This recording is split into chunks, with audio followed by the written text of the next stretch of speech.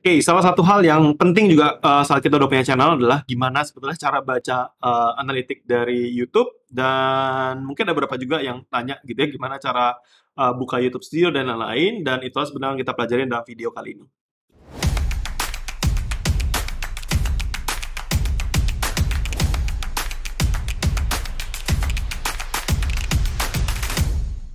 Hai, kembali lagi bersama saya Niko dari Sosial Media Market Ready, tempat Anda bisa belajar masalah melalui media sosial. Dan topik kita hari ini sebetulnya bicara tentang uh, gimana sih sebetulnya cara baca YouTube Analytics, termasuk login YouTube Studio gitu ya. Dan hal ini sebetulnya jadi sesuatu yang penting banget, terutama kalau kita pengen mengembangkan YouTube channel kita. Kenapa? Karena YouTube channel itu tentunya uh, kita harus bisa mengevaluasi gitu ya, seperti apa respon dari video-video yang kita udah buat, kemudian seperti apa uh, strategi ke depannya, tentunya harus berdasarkan data-data. Nah, data inilah yang akan kita pelajari sama-sama. So, uh, inilah uh, dashboard YouTube ya, yang pastikan Anda sudah punya channel, tentunya saya asumsikan Anda udah punya gitu ya. Uh, saat Anda punya, cara loginnya itu sebetulnya quite simple. Anda tinggal klik ke pojok paling kanan gitu ya, ada YouTube Studio di pojok kanan ini ya. Nah, tinggal klik YouTube Studionya. Dan setelah nanti Anda klik YouTube Studio, Anda akan masuk ke dalam namanya YouTube Studio. Jadi YouTube Studio ini tempat kita bisa akses semua data dari uh, channel kita, baik pertumbuhannya gitu ya. Di sini ada current subscriber, jadi jumlah subscriber per sekarang berapa, uh, pertumbuhan di 28 hari terakhir seperti apa, ada juga summary. Jadi basically ini udah masuk di dalam YouTube Analytics sebetulnya ya. Cuman uh, tampilan yang boleh dibilang um, general gitu ya, generic yang yang masih uh, boleh dibilang ya kumpulan dari rangkuman dari keseluruhan sebetulnya. Nah, saat kita pengen uh, lihat analytics lebih detail, Anda bisa klik di channel analytics di sini atau Anda bisa klik di menu sebelah kiri ya. Analytics saya biasanya lebih suka yang di bagian kiri sebetulnya. Nah, di bagian sini sebetulnya ada empat tab ya, sorry, empat, lima tab yang kita akan uh, sama-sama bahas gitu ya. Pertama adalah yang namanya overview, di mana ini channel analytics di YouTube. Itu overview itu menggambarkan keseluruhan dari channel sebetulnya. Jadi mulai dari berapa views uh, selama 28 hari terakhir gitu ya.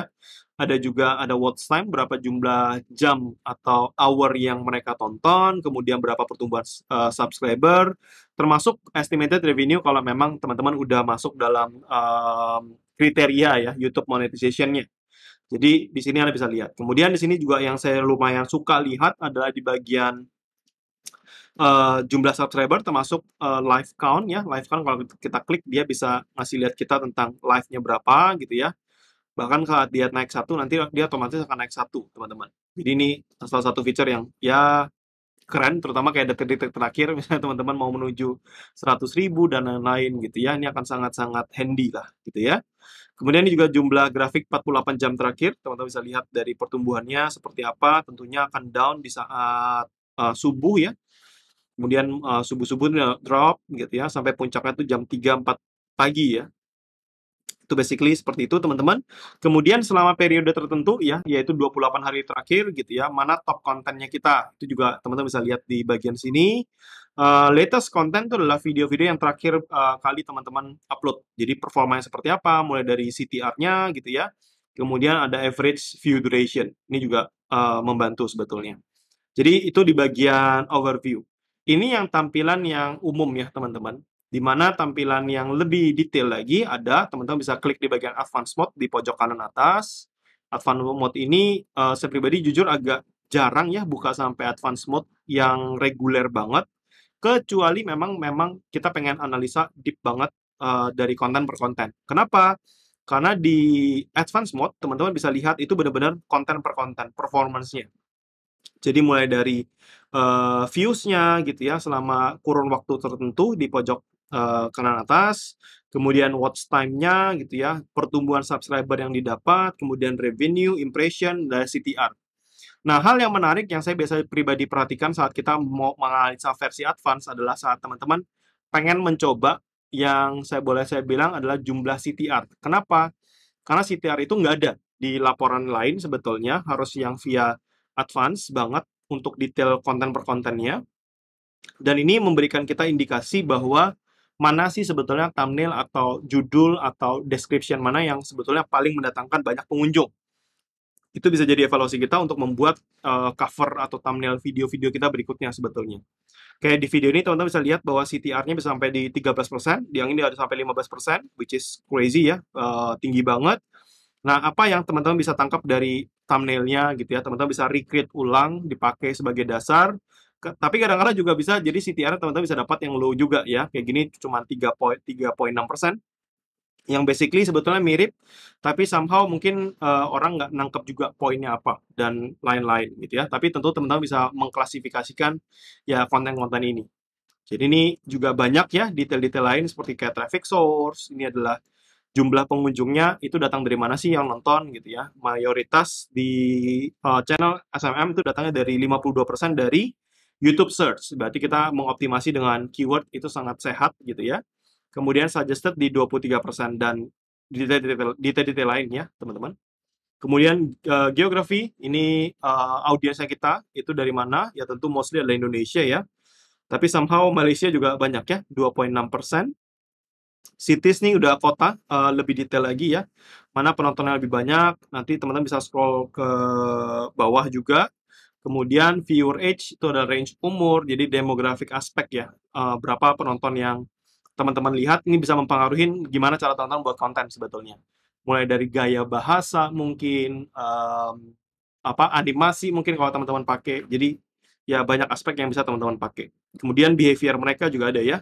Untuk average duration itu mana yang uh, cluster umur mana yang paling banyak mengkonsumsi gitu ya. Pada case saya sih di 18 ke atas ya konsumsinya uh, panjang sebetulnya teman-teman. Lebih lama Kemudian gender, as usual ya, berapa banyak. Di case-nya kita tuh pria lebih banyak ya. Kemudian date, date itu adalah uh, tanggal per tanggal, jadi performance dari keseluruhan channel. Hitungannya dalam format hari ya, berapa total yang nonton, dan lain-lain. Revenue source itu pasti dari uh, kontennya gitu ya, dari mana, uh, dari ad revenue, dan ada premium revenue. Kemudian ada subscription status dan lain-lain. Ini juga ada more, teman-teman bisa lihat lebih detail lagi. Ada banyak banget sih sebetulnya fitur-fitur yang lebih advance ya. Cuman saya pribadi biasanya akan lihat cuma di bagian-bagian yang depan aja teman-teman. Di bagian dalam biasanya saya nggak terlalu signifikan banget untuk ngecek. Biasanya saya cek ada sih kalau teman-teman bermain dengan playlist, teman-teman bisa cek berdasarkan playlist. Playlist mana sih yang paling banyak orang tonton misalnya. Atau teman-teman juga bisa lihat berdasarkan uh, iklan yang muncul apa atau device tertentu misalnya bisa jadi insight buat teman-teman sih. Kayak gini kan 74% diakses dari mobile gitu ya, 23% dari komputer. Jadi ya itu insight aja sih yang teman-teman nanti bisa explore sendiri ya. Saya kembali lagi teman-teman ke yang versi uh, umum gitu ya. Di bagian sini ada juga konten tab ya di bagian channel analitik.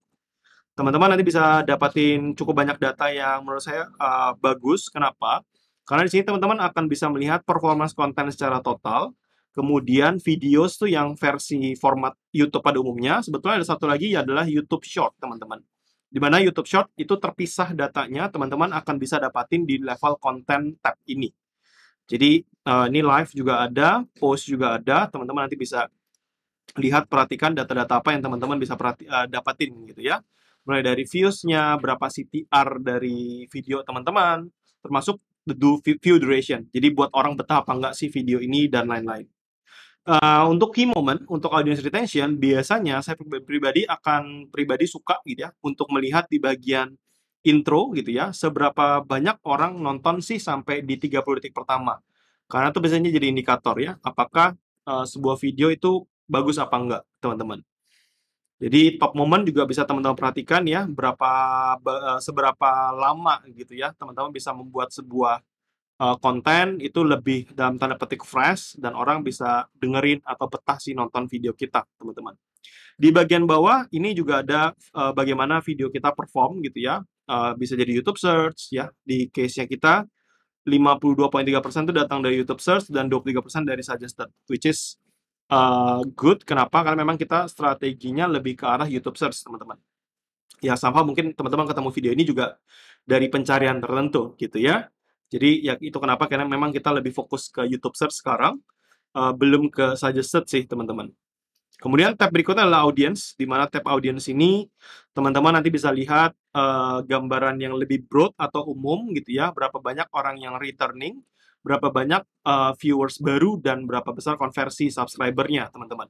Kemudian secara geografi ya, jadi gambaran yang broad saya bilang umum, dari jam berapa yang baik teman-teman post, kemudian ada subtitle apa enggak, kemudian berapa banyak yang nyalain lonceng gitu ya.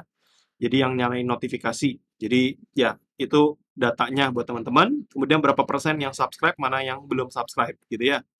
Di case ini sih uh, biasanya saya akan saranin teman-teman untuk ngecek monthly basis gitu ya. Jadi misalnya setiap tanggal 1 uh, eh, awal bulan teman-teman akan evaluasi ini misalnya. Jadi teman-teman akan mencatat uh, month to month berapa besar konversi yang terjadi, apakah ada peningkatan atau ada penurunan, let's say gitu. Tapi kalau teman-teman memang fokus sebagai content creator untuk terus buat konten, ya ini akan perlu teman-teman uh, tambahin terus ya, nggak nggak harus di apa namanya, nggak harus dikontrol banget sih menurut saya. Kemudian di bagian revenue, itu bagian kalau ada monetisasi aja ya, kalau nggak ada, ya tentu nggak akan jalan teman-teman. Ini kelihatan dari konten mana yang paling banyak perform, kemudian bulan per bulannya, dan ya uh, jenis iklan apa aja yang teman-teman dapatin gitu ya. Mostly 67% dari konten yang di-skip. Jadi artinya konten yang di-skip pun bisa ngasilin duit ya teman-teman. Kemudian fitur research di sini sebetulnya adalah fitur yang boleh saya bilang relatif baru dari YouTube sendiri teman-teman tetapi sayangnya memang di search term ini itu baru berlaku buat keyword atau kata kunci dengan bahasa Inggris. Jadi bahasa Indonesia sayangnya belum ada. Which is boleh saya bilang ini nggak terlalu banyak works buat market Indonesia gitu ya. Jadi kebanyakan berlakunya buat keyword bahasa Inggris saja teman-teman. Sehingga ya kalau keyword kita bahasa Indonesia nggak terlalu bisa banyak kepake sama kita gitu ya.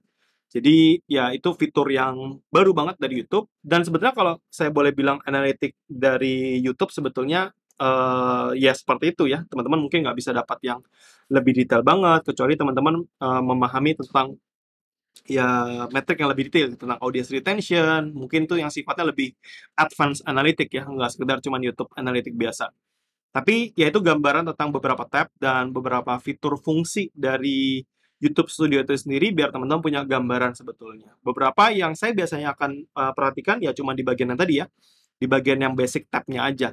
Bagian konten, kemudian audiensnya gitu ya, performance seperti apa. Jadi as uh, general aja. Karena kita bicara tentang YouTube, itu bicara tentang long game ya teman-teman. Jadi kita nggak bisa ya berharap kita baru posting YouTube hari ini, kemudian besok langsung viral, langsung bisa boom banget terkenal gitu nggak. Kayaknya agak-agak sulit terjadi kecuali teman-teman memang punya budget yang besar untuk uh, promote konten YouTube teman-teman gitu ya. Jadi kurang lebih itu sedikit uh, guide buat teman-teman gitu ya terkait dengan YouTube Analytics dan gimana cara login di YouTube Studio juga. Semoga bisa memberikan teman-teman insight satu dua hal harapannya gitu ya. Dan kalau teman-teman suka silahkan subscribe juga di channel kita.